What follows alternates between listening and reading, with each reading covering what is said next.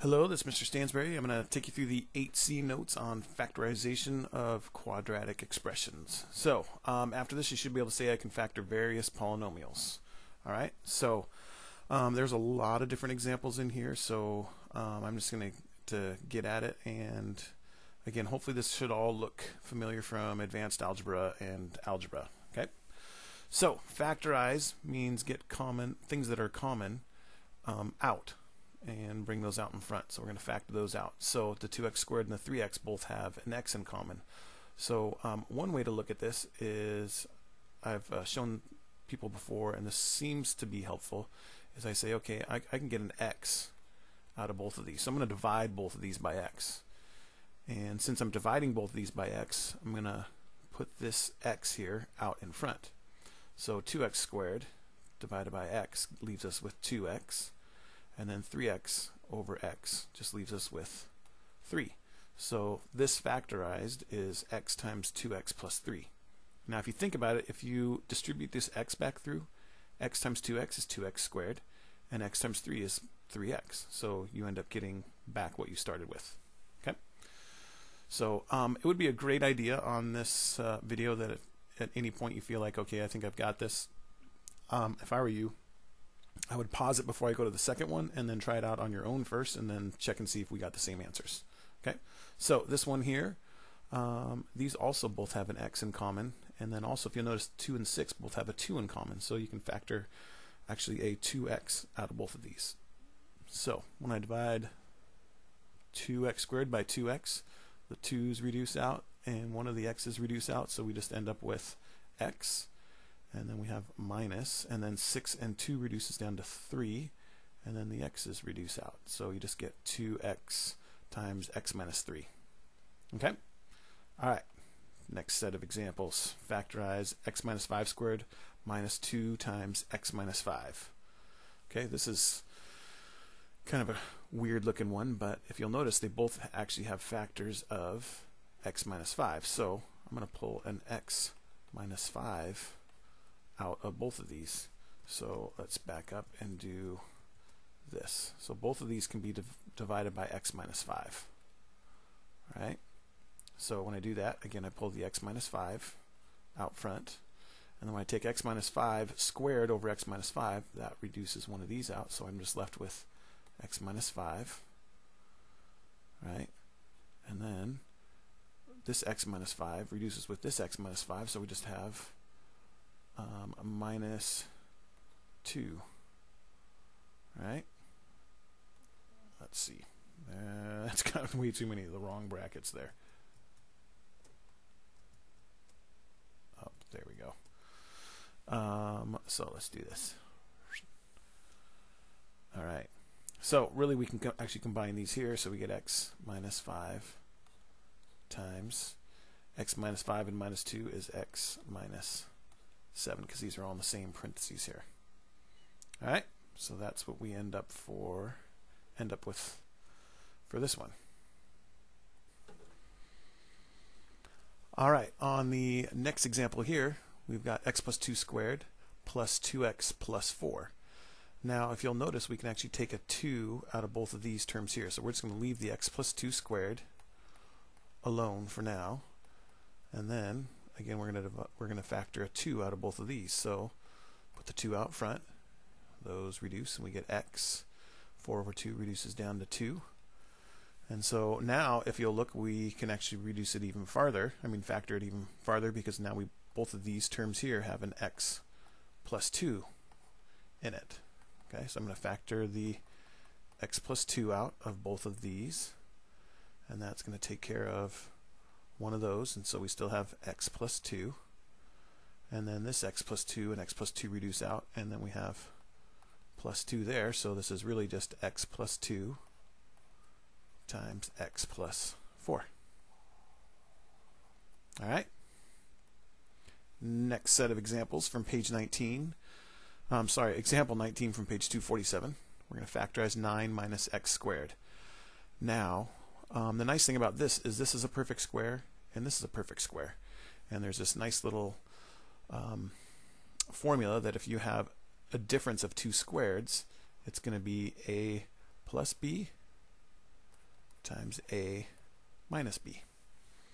Right? So basically, what we're going to do here to factor this the nice easy way is take the square root of, since they're both perfect squares, take the square root of this, and you get 3. So 3 times 3 will give us 9. And then the square root of x squared is x. There's our x and our x.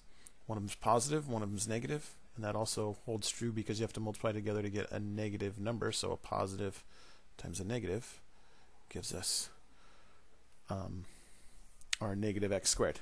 Okay, so again, if you FOIL this out, you would get 9, and then you'd get minus 3x, and then plus 3x, which would, which would reduce out. And then you get negative positive x times negative x, which is your negative x squared, so you get your 9 minus x squared.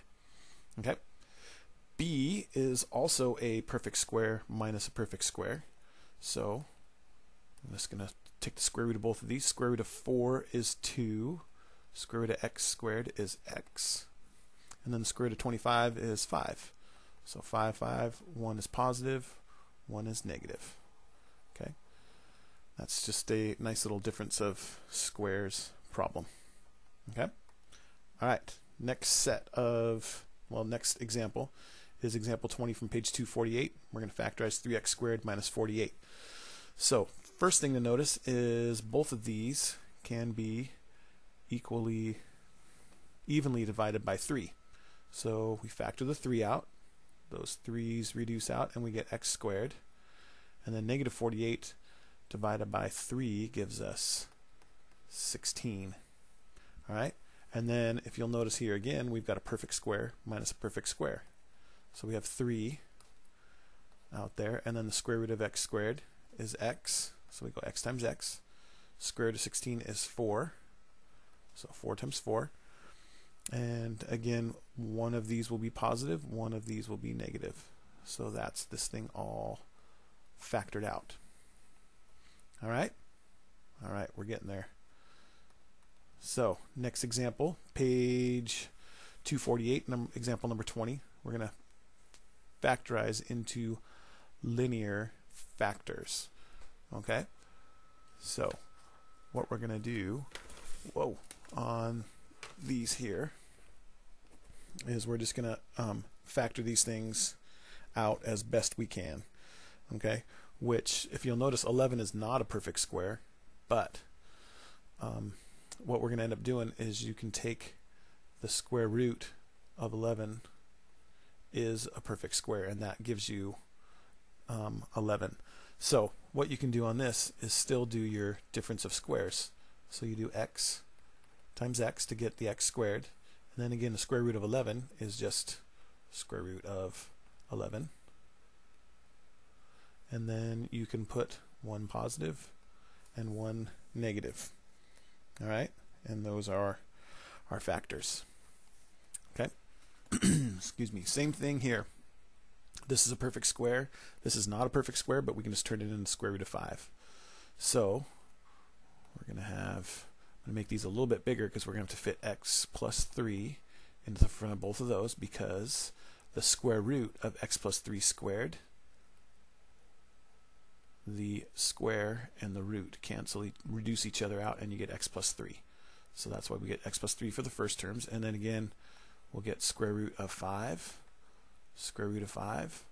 One's positive, one's negative. Those are our, that's this thing factorized. All right? Okay, I know it's a little strange, but we'll go with it. All right, three sets of examples left. All right? So this is just like the uh, one we just did, except for these are somewhat nicer because they're actually, again, two perfect squares. So we will break this down into two sets of factors. Square root of 3x plus 2 squared is just 3x plus 2. So 3x plus 2 go in both of those. And then square root of 9 is just 3. So that's going to be 3 and 3. One's positive, one's negative. And then you can actually simplify the 2 and the 3 here and the 2 and the negative 3 here. So you just get 3x plus 5 times 3x minus 1. All right. Okay, same thing here. or similar thing here.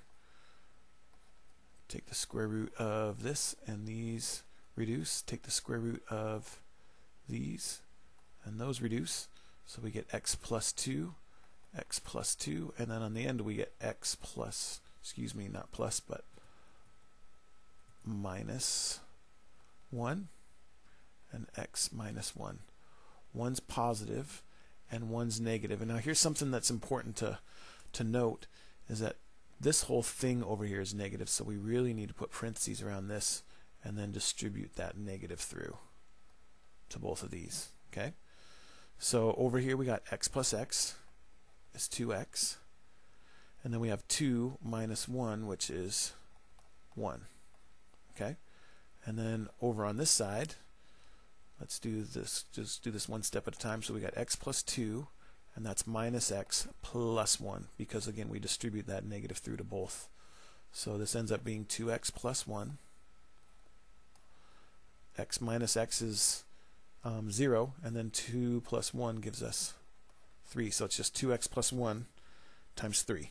And the better way to write that is just 3 times 2x plus 1. All right? So that's how you do those. All right. Next example, factorize 8x squared plus 24x plus 18. And this is from page 250, number 24. Okay? Um, first thing to note here is that all of these are divisible by 2. So I'm going to factor a 2 out of all of these. And oftentimes, uh, a common mistake I see on this is that someone will, lots of people will try to factor an x out too. That would work for this term and this term, but this term here doesn't have an x, so you can't get an x out of that. So we can just take the 2 out. So we got 2 times 4x squared plus 12x plus 9. Okay? so, um, with this one here, um, what we're going to try to do is just try to break this down as best we can. Okay? Now, this is a perfect square. The first term is a perfect square, and the last term is a perfect square. So, then there's another nice little formula that we can use for that. Okay? And that says if you have um, it is x squared plus 2 times x times a plus a squared, then you will get x plus a squared. Okay, and this is uh, in a formula from the previous page on 249. Okay, so um, what we can do on this, if you'll notice, we have um, again a perfect square and a perfect square. So let's do this: two times, and then the square root of 4x squared is 2x. Square root of 9 is 3. Okay, and this should be just simply 2x plus 3 quantity squared by using our formula here. Okay. Now, again, some of you are saying, whoa, wait a minute, how'd that work? Um, let me show you really quick here. So you've got, um, if you do 2x plus 3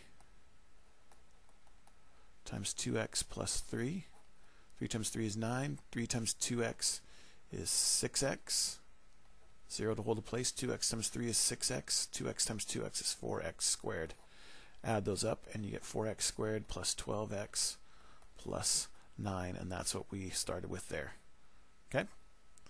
That one's uh, definitely a little bit more on the tricky side because you have to somewhat know what these formulas are talking about. But basically you want to, there's lots of nice little shortcuts once you find perfect square, perfect square, first term and last term.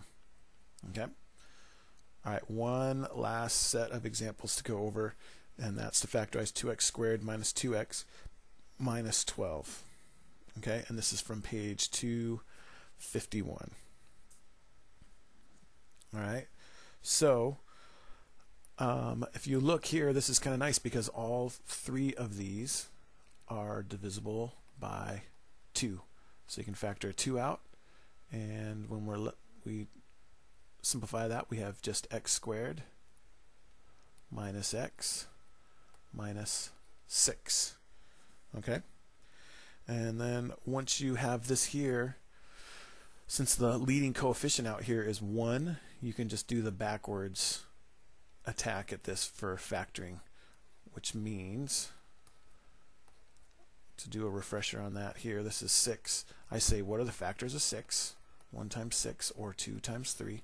What are the factors of 6? Since this is a negative, I say that have a difference of 1 because there's one x in here.